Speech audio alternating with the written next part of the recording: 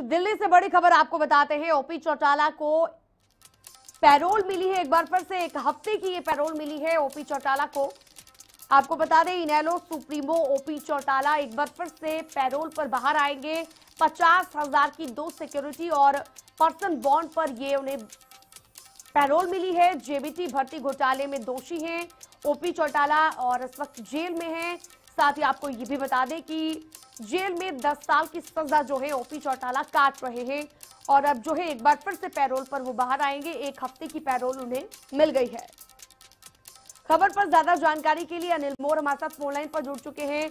अनिल, एक बार फिर से बाहर आएँगे ओपी चौटाला। अब एक बार फिर से उन्हें पैरोल मिली है एक हफ़्ते की।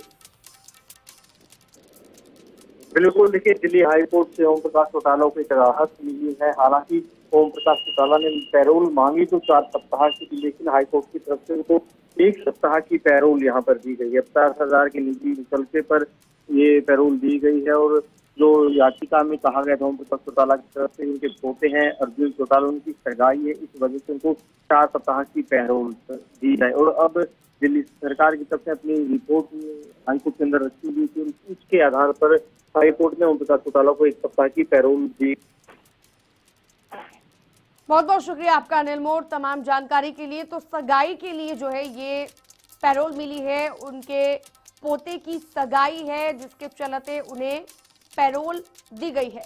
आपको बता दें, जेबीटी भर्ती घोटाले को लेकर जेल में सजा काट रहे हैं। दोषी हैं ओपी चौटाला।